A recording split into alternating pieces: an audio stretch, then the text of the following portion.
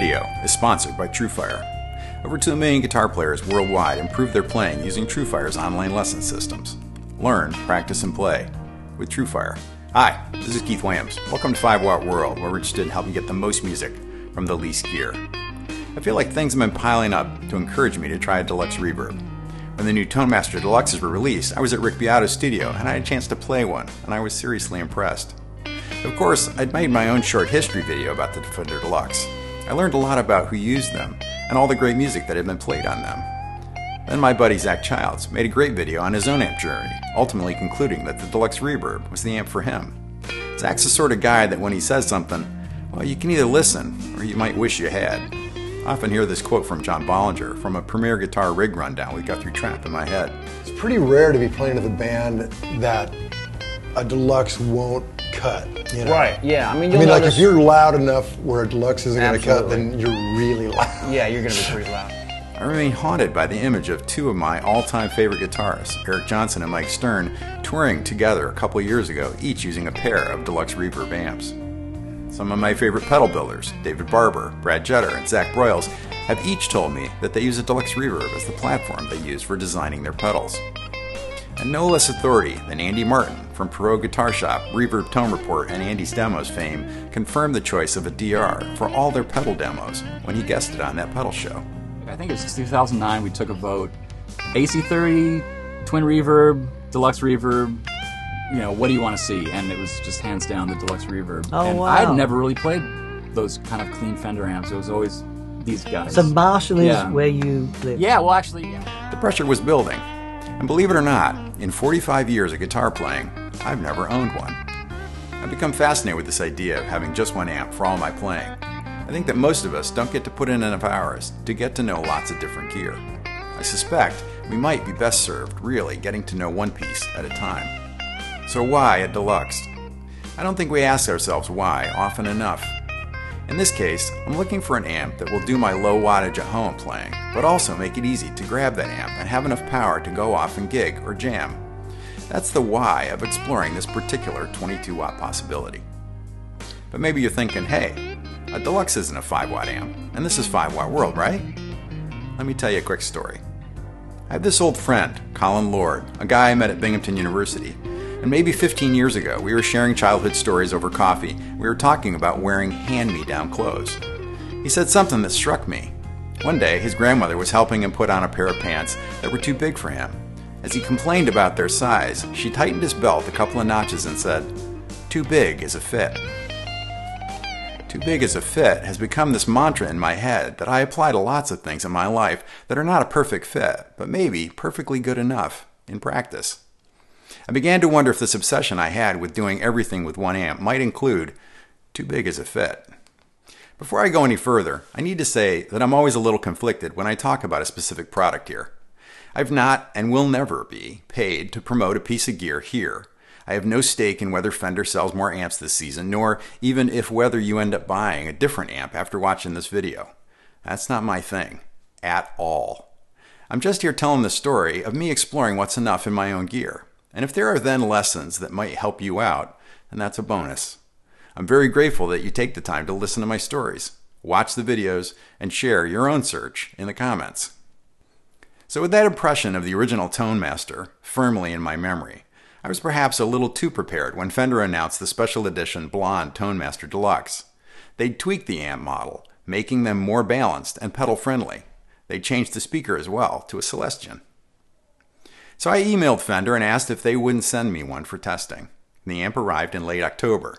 It's rare that I try new gear, and even rarer that I make a video about it, because I want to have to have spent months playing it before giving my impressions.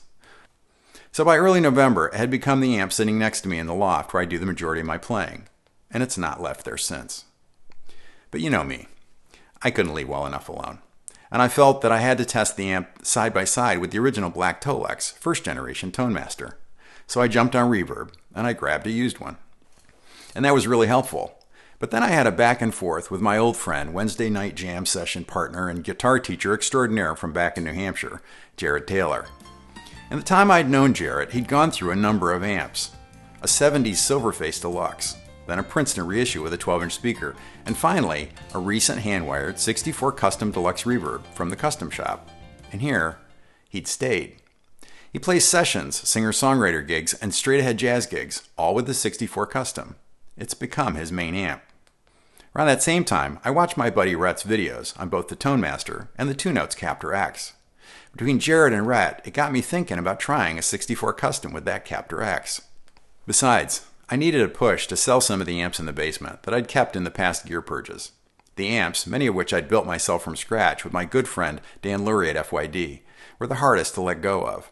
So it was with this specific goal in mind, I sold off the pile of gear and found a good deal on a 64 Custom Deluxe as well.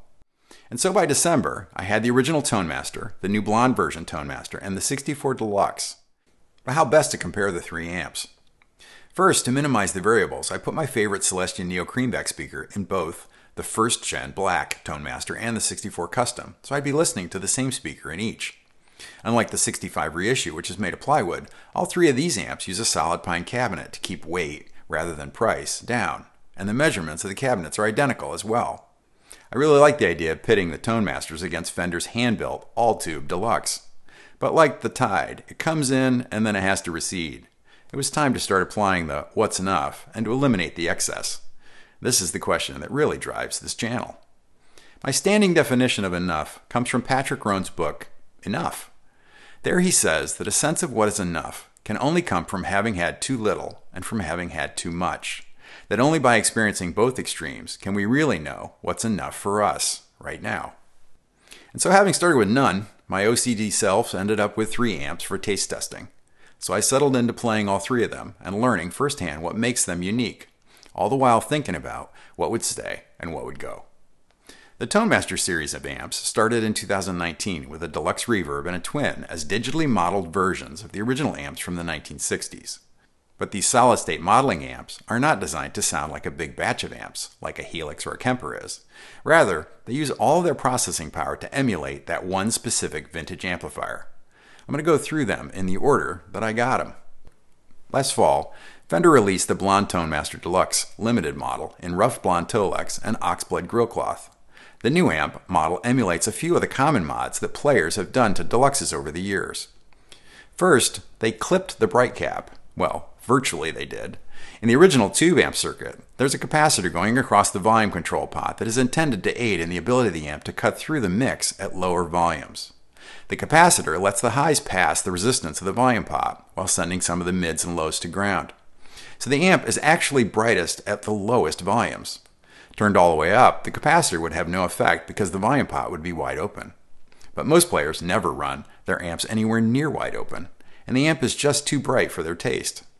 This can become even more of a problem when running drive pedals into the channel at lower volumes. Fender also changed the slope of the reverb pot, giving it more gradual increase to the reverb. This effectively gives us a wider range of useful reverb for that first half of the swing from 1 to 5. The other major change in the Blonde version is the speaker that's used. Switching from a Jensen Neo, the Blonde has a Celestion Neo creamback speaker Celestions are a common speaker swap in 60 style Fenders because they put back some of the mids that the tone stack takes away. We all grew up with the sound of a classic scooped mids of a Fender amp, and that's all still there. With the Celestion, there's just a little bit more mids filling in, lifting the bottom of the scoop up a bit, if you follow me. They've also changed the impulse response, or IR's, speaker emulated direct on the XLR output on the back panel to match the Celestion. Here you get the sound of the Neo Creamback mic'd with a Shure SM57 and a Sennheiser 421, a classic mic combination that gives you all the complex mid-range from the 57 and fills in the bottom with the 421. Those are the highlights, and I like the blonde version right out of the box. As I said earlier, though I've played Fender amps for decades, I've never owned a deluxe, so this was me wading into new waters. And to overextend that metaphor, it encouraged me to head to deeper water by buying another amp, the original Tone Master. The first of the two Tone Master Deluxe amps came in black and silver livery, as they did in the mid to late 60s. That first version goes to great lengths in an attempt to sound exactly like the tubed up version. The amp has been very successful for Fender, and though it might not sound exactly or feel exactly like your original 60s Deluxe, it's as good as is realistically possible. Remember, every amp after 60 years of aging would sound and feel a little different, It has to do with lots of factors, but like guitars, it's important to remember that they're all unique instruments. It's the sum of their specific parts combined with how many gigs they've seen, how much they've been played, and who's done the maintenance over the years. As I mentioned earlier, this amp came with the original tones in place. If you're looking for that big 60s surf sound and that cut through everything bright channel, then this is likely the Tone Master for you. It also comes with a Jensen Neo speaker that's voiced to sound like the original Alnico speakers that came in those 60s amps, and the IRs available at the XLR output on the back are of that speaker as well. I bought this amp used from a studio player in Florida, and he'd removed the Tone Master nameplate from the front of the amp. And at a glance, or a listen, you'd never know this wasn't a tube version. Well, unless you needed to move it, and then you presumably notice the featherweight 24 pounds that makes this amp so appealing to the average gigging player. This Tone Master model is currently the lowest priced deluxe reverb in the Fender catalog, just a little bit lower than the blonde version. One of my favorite features that they've built into these solid state emulations of the original is the virtual attenuation switch on the back panel. You can rotate this from a 22 watt emulation of the original down past 5 watts to just 0.2 watts. I say emulation because this is not the attenuated tube power section that a regular amp would have. It's dialing the amp model to respond as if being attenuated, changing the room volume at which the amp will start to break up. This is incredibly useful for playing at home, and I regularly have it set to 12 watts or even down to 5 watts. And though labeled as 22 watts, this is actually a 100 watt solid state amp, which can easily produce volumes comparable to or higher than the original tube 22 watt amplifier. The only thing keeping this from being the amp that I'd recommend to every guitar player heading off to music school is the lack of a headphone jack that would disable the speaker. This could have been done easily on the back panel, preserving the classic looks of the front. You can rig this up with the IR output, but that's a little fiddly, especially when they could have easily added the jack. Maybe in a future version? Fender, I hope you're listening. Of these two Tone Master versions, I came out on the side of the blonde version. It fits the warm jazz and blues tones that I'm usually chasing, and I find it works better with my favorite overdrive pedals. By having experienced the difference between these two TMs, I was about to jump into the deep end of the pool and go for the full tube deluxe reverb experience with the 64 custom hand-wired deluxe reverb from the Fender Custom Shop. Though very much based on the original 64 circuit, the boys at Fender couldn't resist the word custom in the name, it seems. Like others have done the, over the years, they made the reverb and vibrato available on both the normal and bright channels. This is pretty handy as you can get the classic reverb on both of those channels, and they're voiced quite a bit differently. And they've clipped the bright cap on the normal channel, so you get a distinctly different voice there. An interesting feature of this amp is that turning the volume up brings more mid-range forward, it lessens the depth of the scoopiness of the original blackface circuit and is a big part of why deluxes sound so good overdriven. Like a vintage deluxe, the 64 breaks up a little earlier than the current 65 reissue would, but it also winds up more gradually, giving you a more subtle controllability for different types of guitars. I found this responsiveness pretty seductive, and I can see the 64 Custom settling in for a long stay as the main amp here in the loft. Right about now, you might be yelling at the screen, Wait, hey, isn't this 5 watt world? And yeah, yeah, it is, which is where the two notes Captor X comes in. The Captor X adds two great features to this all tube rig. It lets me attenuate at two levels. There's a three way switch, but the top position is full, letting the volume all through to the speaker. The middle position, or club setting, is minus 20 dB, and the low or home setting is minus 38 dB. As the Captor X will handle everything up to a 100 watt amp, I imagine the three settings would be pretty different in practice with a much bigger amp. A 100 watt Marshall cranked and then attenuated by minus 20 dB would still be pretty darn loud, but with the 22 watter, the attenuating settings were pretty quiet. So with the 64 Custom, I found that the middle club setting was a sweet spot for at home. If anything, it could be a touch louder. But if you're frustrated by having just the three position switch, you just have to revisit how this was all done before master volume amps became a thing in the early 1980s. Turn the amp up on your preferred attenuator setting. Then turn the guitar down until it cleans up to where you want it to be. And bada bing, you have a fully adjustable overall volume knob right there on your guitar. The other thing the Captor X adds is a headphone jack. This is great with the speaker turned off for silent, tube filled practice. And this worked great, but there was one real problem. In my opinion, there should be a warning label when using with headphones on the reverb and tremolo settings of the amp. You see, I try to use Mondays for administration stuff for the channel, paying bills, touching base with my favorite companies, but I also try to start every day running some drills on the guitar to loosen up my hands and my head for the day. But with a pair of headphones into the Captor X coming from the 64 Custom, and with that tube based reverb and bias tremolo, and all of a sudden it was time for lunch. What's the saying? These are good problems to have. So, how do these three deluxes compare for my use at home, or who do I think each amp is for? Outside of heavy music, the Deluxe long ago proved its worth in pretty much every category jazz, country, studio workhorse, blues, pop. The Deluxe has proved its worth everywhere. But what about playing metal on a Deluxe? We might assume the issues are image first and volume second. A 12 inch combo isn't really what I think of as part of my backline for heavy music. But the stage volume coming through a deluxe is really probably enough in most clubs, and the sound guy would be loving the direct out from either the Captor X with the 64 Custom or the direct out of the Tone Masters. But heavy music, that's really not my thing.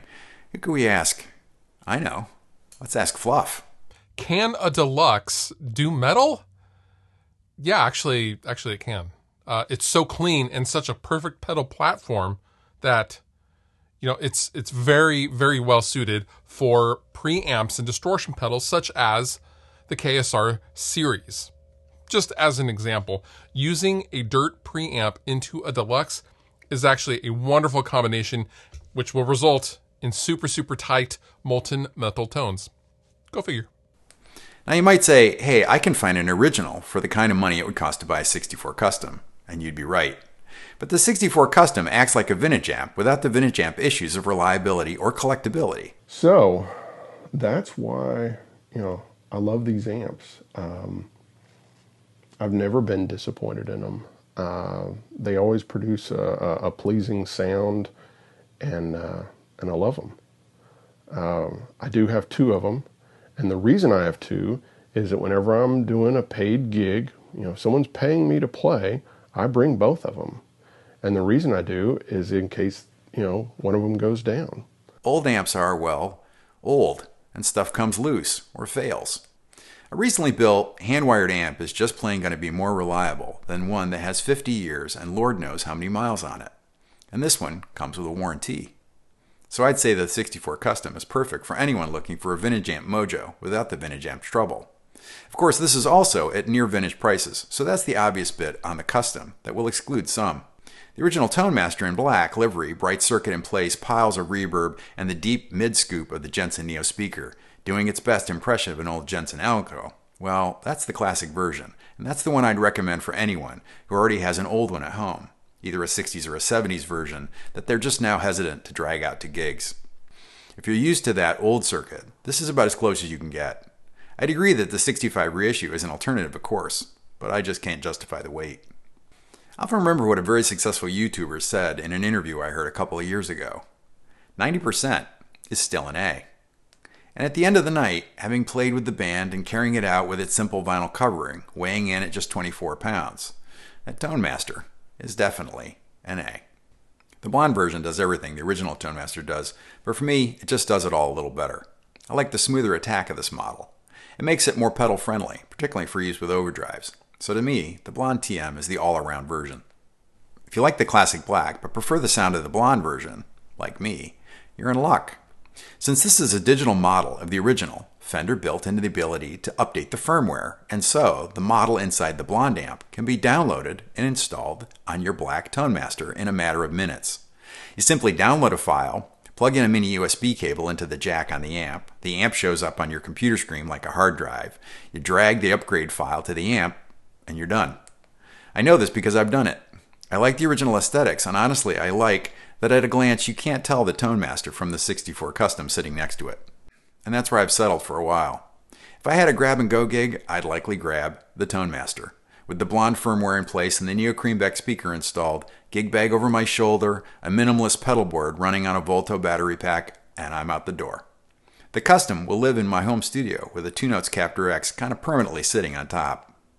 I've partnered with TrueFire because I've used them for over a decade. My playing always improves when I put in the time on their lessons. Whether you're a beginner, intermediate, or professional level player, TrueFire has lessons to inspire and advance your playing. As you know, I always promote spending money on lessons before new gear. I really like TrueFire, and I think if you give them a shot, you'll like them too. Get 25% off courses using the promo code 5watt25. Or like I have for many years, sign up for the All Access Pass to use the entire TrueFire catalog. You can sample anything in the catalog with the All Access Pass and see where the muse takes you. I love their tagline Learn, Practice, and Play with TrueFire. I'd like to thank TrueFire for partnering with me and sponsoring this video. So, summing up, I still think that a 5 watter is a great fit for most people's needs, if they're just playing at home. To me, it's the perfect size.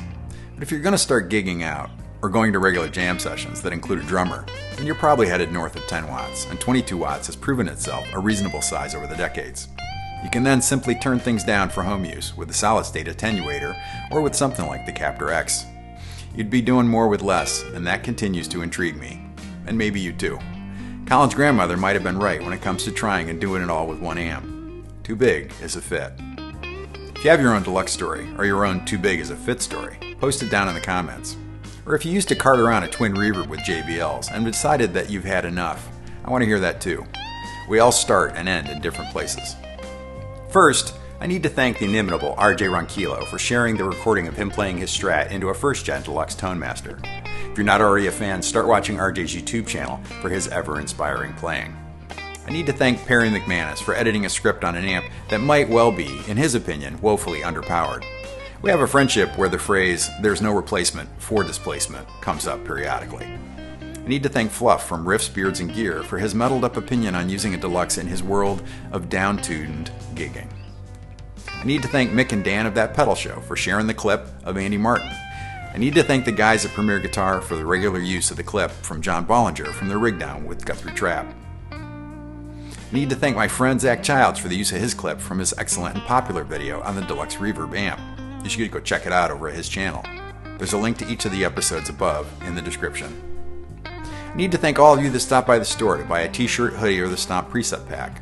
And in particular, I need to thank the Friends of 5 Watt. It's an ever growing group of guitar obsessives, and I appreciate all your support of 5 Watt World. If you enjoyed my look at the Fender Deluxes, hit the like button. And if you haven't subscribed yet, go ahead and hit that too.